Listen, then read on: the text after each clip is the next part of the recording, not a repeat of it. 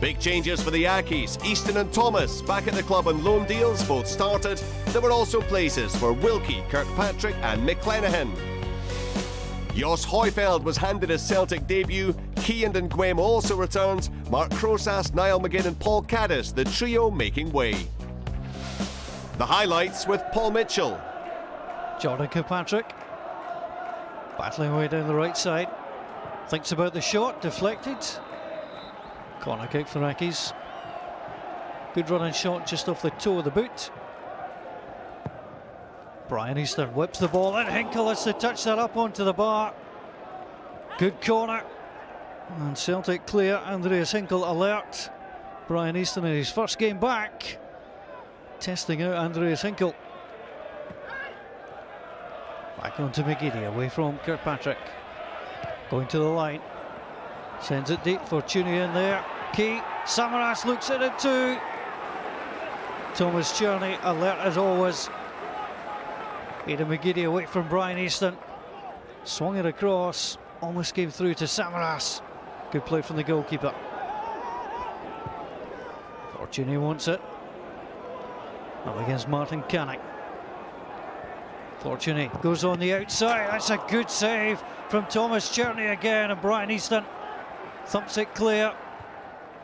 Good push away. And Easton had to be alert. Well, the loss against Hibs, only one of four in the SPL this term. Celtic moving through. That's a mistake from McLaughlin. Fortuné goes in. Tomas Cerny off his line. Still breaks the way of Fortuné. Well, they had men coming in support, and the wrong option was chosen. Tomas Cerny back on his feet very quickly, trying to put the striker off.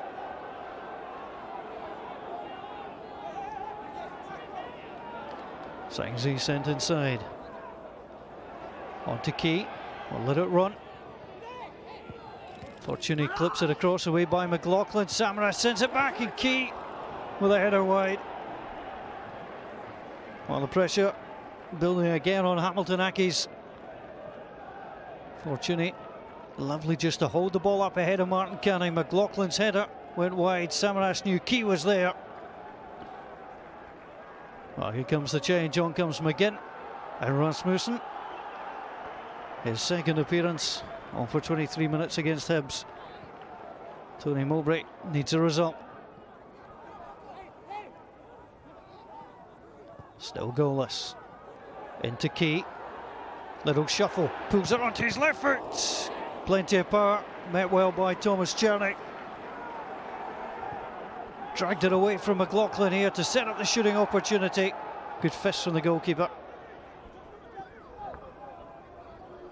Thompson has impressed.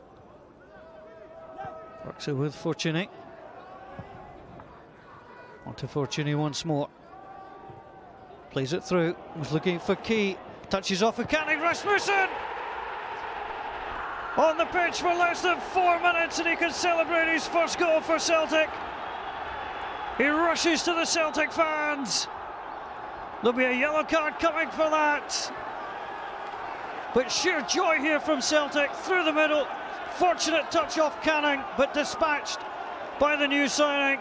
Rasmussen gets his first goal, and Celtic take the lead.